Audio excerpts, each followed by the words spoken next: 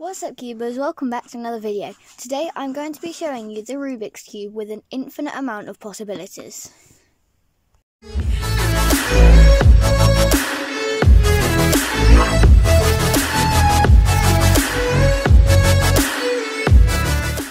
Okay, so technically speaking, it's a 2x2.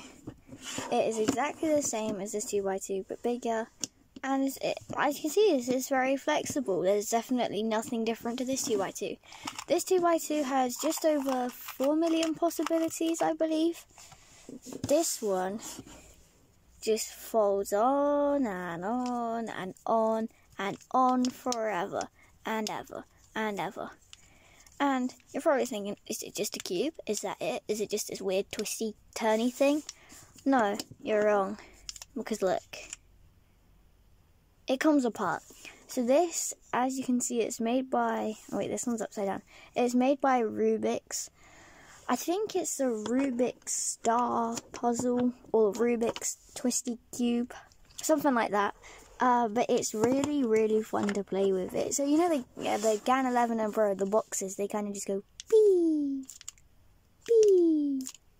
Well, that's what this is like. And as I say, you can take it apart and you can make a star. So looks really nice. And another star which looks really nice. There's a lot of white pieces and this one's so this one if you fold it out is scrambled.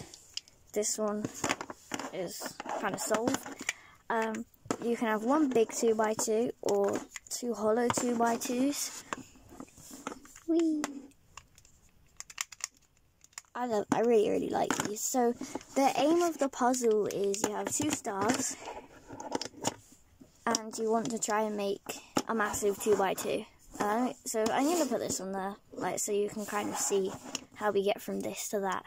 Um, like you can kind, you can't really scramble it, but you have to unfold the star into one shape and then fold the so for example this won't fit in in here to create a block that we can then turn into a 2x2 but this is exactly the same.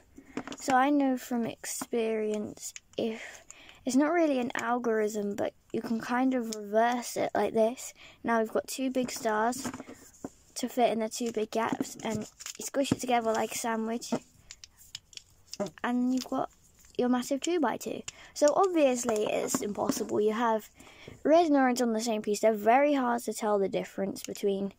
Um, I think there was one piece where, yeah, that's white and yellow.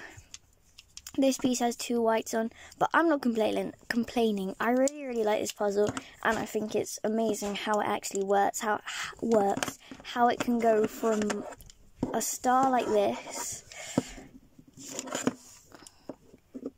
to a cubic shape. It was really hard to figure out when I first got it, but I just think it's awesome. Rubik's puzzles, they might not be the best speed cubes, but they're really, really fun. And you definitely have to use your brain. So, I'm very sorry for not uploading a video yesterday. I don't know why, I was just chilling and I just didn't get around to making one, but I've had a really cool idea that I'm going to mention in a later video today, so I hope you're looking forward to that. Um, I really think you should buy this puzzle. It's just so fun. You can do so much with it. You can fiddle with it. You can do anything. And it's way better than your regular 2x2. This one isn't very good. But yeah, I hope you enjoyed this video. Please subscribe. Please leave a like. Bye! Thank